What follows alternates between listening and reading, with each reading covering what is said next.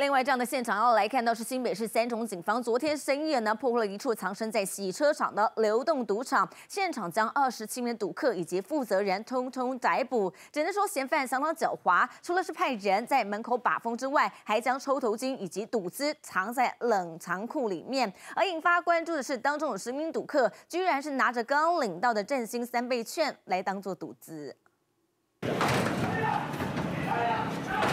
警方拿着工具对着洗车场铁门不停敲打，全副武装进行攻坚。原来这里暗藏了一个流动赌场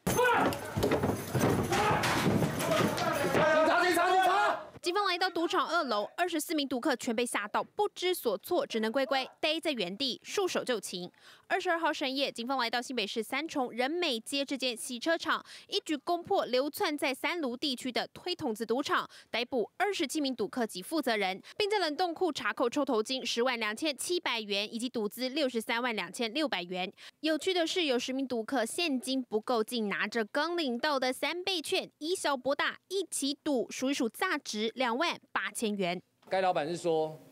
只要他有登记公司行号，其实就可以哦，按照一般的公司行号来兑换现金哦。那甚至啊，他也可以收来啊，当做一般购买物品来使用哦。